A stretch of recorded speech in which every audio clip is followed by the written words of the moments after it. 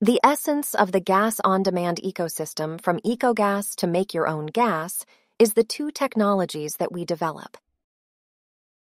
The first is the autothermal slow pyrolysis, or called ASP technology.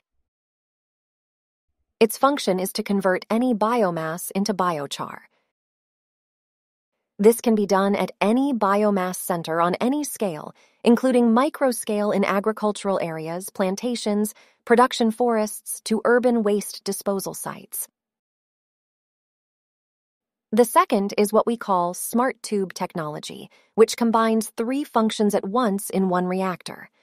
These three functions are gasification, autocatalytic reforming, or called ACR technology, and purification. With this smart tube, you can produce standard biosyngas like this and use it directly for heating and power generation for SMEs, industry, and commercial users such as hotels, catering, restaurants, hospitals, etc.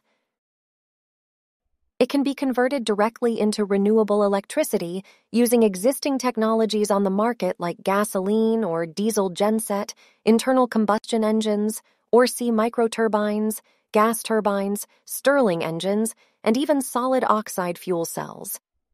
A diesel engine still needs a little diesel for ignition until stable, and then it can run entirely on biosyngas.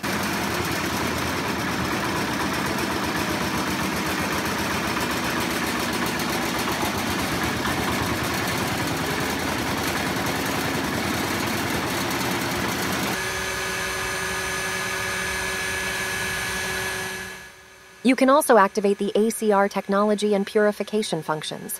It makes biosyngas that are clearer, purer, and also have high quality renewable gas as feedstocks for advanced biofuels production like biodME, biomethanol, biogasoline, green diesel, biojet, SAF, and even can be biohydrogen. Thank you for the time watching this video.